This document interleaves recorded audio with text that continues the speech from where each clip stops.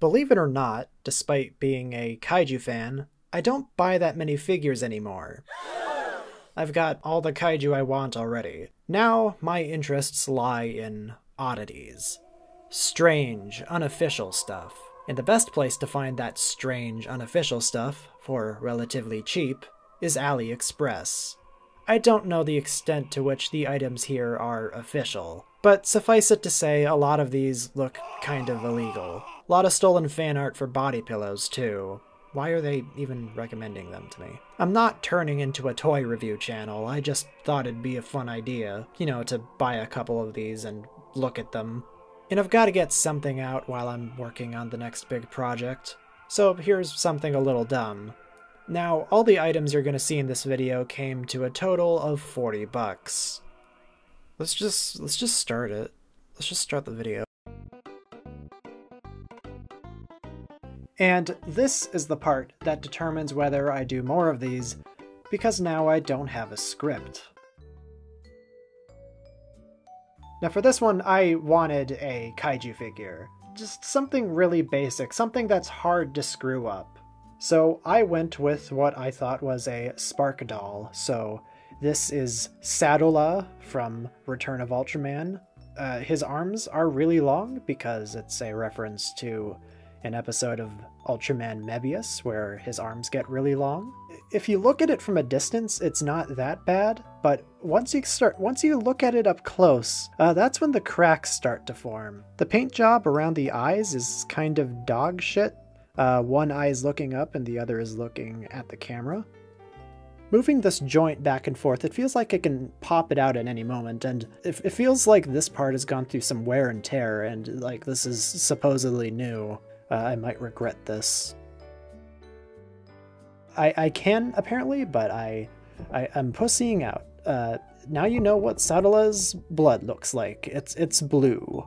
Before I move on, I want to say they gave me the wrong character card here. They, they gave me one for Red King, even though th this is Sadola. You know, common mistake. They're both corn cobs. Yeah, that's enough of that shit.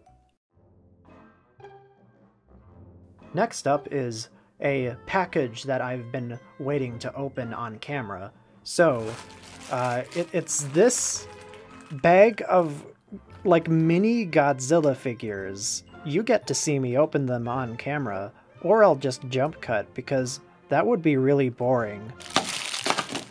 Okay, uh, they're all out of the bag now. There's one more I've got off screen that I'm going to reveal later, but these are all varying uh, minifigures of uh, Goj. This one represents the 1954 uh, Goj and his iconic green skin and uh, cum blast. For what it is, the sculpt is okay. The paint job on the eyes is pretty goofy, but that's what I like. That's that's what that's what I like. You can't see it, but I'm doing a peace sign. That's what I like. Uh, this one is based on the Musuko Goji design from Son of Godzilla, which is certainly a choice as like again, the, the sculpt isn't bad, but the the friggin' eyes, man. This one is based on the what I believe to be King Goji suit, but it's like pure black. Uh, the King Goji suit is supposed to be sort of like a charcoal gray, but this one is colored more like a Heisei suit. Here we have one that's based on Burning Goji. This one is pretty standard. The entire body should be glowing, but it's just the scoots on the back. Paint job is once again, yeah. Now this one, I audibly gasped when I first saw this one. they couldn't have been more wrong with the eye placement. Jesus. That is a clump scringly right there. Oh my god, this this is a favorite. He looks like Watto from Star Wars Phantom Menace. oh, I, I can look at this all day, but my battery is going to run out soon, so get out of here. You've seen him lurking in the background. It's uh, Godzilla 2014 with his iconic Come Blast. And here we have another Godzilla 2014. It's it's not great, but I mean, sure. And finally, the last one of this set, and it is not Godzilla, but rather uh, Femuto. Uh, I really like the Mutos in the 2014 film. People who say they're Cloverfield ripoffs have, have not seen Cloverfield. Like, sure, they're multi limbed things standing, but like, I, I enjoy the chemistry the two Mutos have. It's, it's fun, it's cool, I like that movie. Anyways, uh, why are the arms colored? I mean, the Hokmuto kind of had white on its body, but the Femuto's arms were not uh, colored like this in the film. This one was the most expensive. It cost me about $15, $14. Uh, this is it. I haven't taken it out of the packaging yet. Justice! Let's take this crap out of the packaging. What this is, is. oh, Hideki Go, what have they done to you? Holy. Let me get this crap out of the way. Holy. Yeah, this is a stretchable Ultraman figure. yeah, yeah, I'm, I'm going to be having some fun with this. This is interesting. Um, it, fe- it feels well made. It feels, uh, curiously, it does not feel like it's going to crumble in my hands. Yeah, let's let's bring back Sadola for this one. Yeah, ultimate ultimate fucking showdown. Let's fucking go, baby. Yeah, baby. But yeah, this is a lot of fun. I, I would recommend this. I will give an update if it breaks or not. Moving on. Before I move on, though, uh, this figure, this this rubber stretchy doll, came with a pack of cards.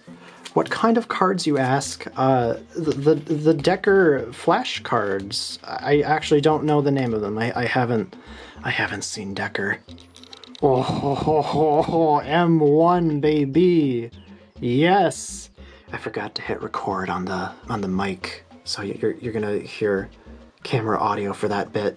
And next up we have Titus, Ultraman Titus. I, I need I need to finish Taiga. I I stopped about halfway through. What what the fuck is that? Ultraman Titus again. Yeah, baby. Love this guy. What the fuck is that? Ooh, Ultraman Ultraman Trigger. I'll get to you someday. Smile, smile! Ooh, Ultraman Dyna. Nice. Uh, the speed version of a Kyrieloid. I'm in the middle of recording a Tiga video, so that's how I immediately recognized that. But yeah, that's what that's that's that's what we got for cards.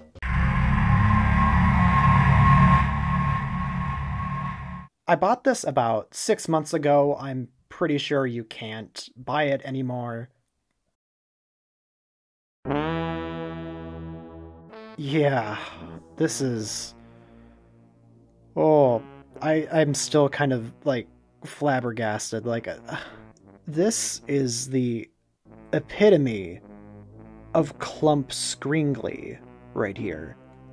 It's it's thin. I I think it was listed as like a Christmas ornament on the AliExpress listing.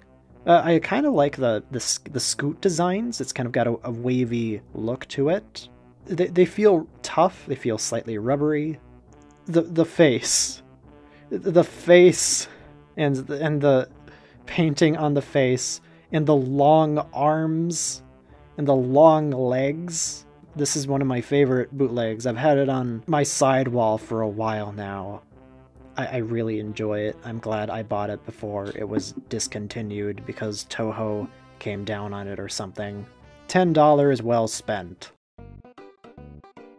Well, that was a load of shit.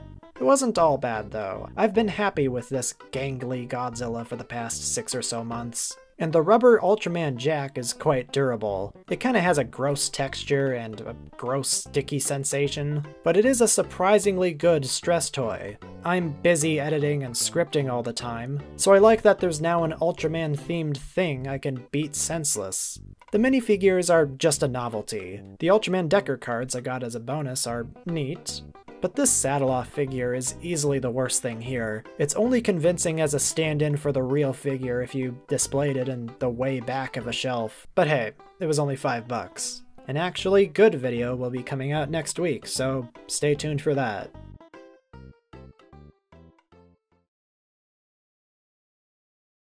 And now a shout out to my biggest patrons Radiant GV, Waba, Alcoholic Alligators, Ryan Santa Cruz, Avok Robot, The Antagonist, Ziggy Zigra, It's Godzi, Big Odilo, An Actual Dimetrodon, CMG, Red Comet Harry, and Marpzilla.